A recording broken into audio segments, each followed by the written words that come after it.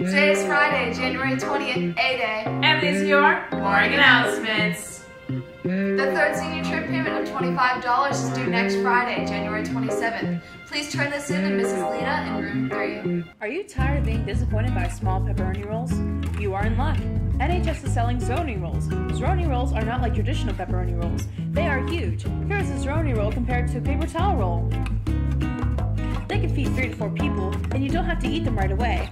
They make a quick and easy meal for busy nights, and they taste great.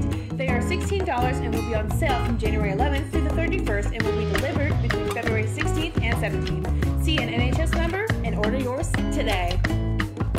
The batting cage area will be open for hitting and pitching practice every Monday from 3.30 to 5.30 and Thursday from 4 to 6. Please review this week's sports tip.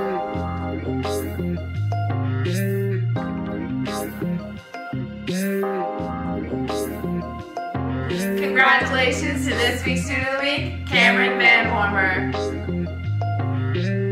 Have a great day. Now please stand for a moment of silence.